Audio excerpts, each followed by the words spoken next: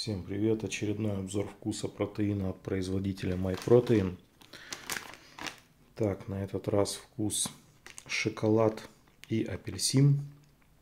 76 грамм белка на 100 грамм продукта. И 20 грамм белка на эту порцию 25 грамм. Все как обычно разводится 150-250 миллилитров воды или молока. И производитель рекомендует употреблять за 30 минут до или после тренировки. Смотрим. Так, смесь такая.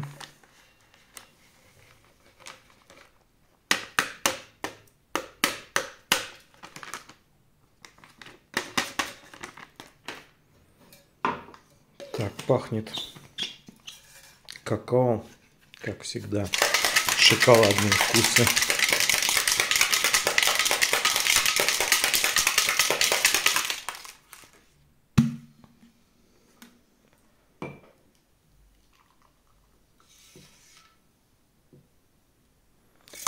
Так, пены практически нет. Консистенция вот такая. Запах. Запах, да, шоколад, там с чуть-чуть нотками апельсина. Ну, посмотрим.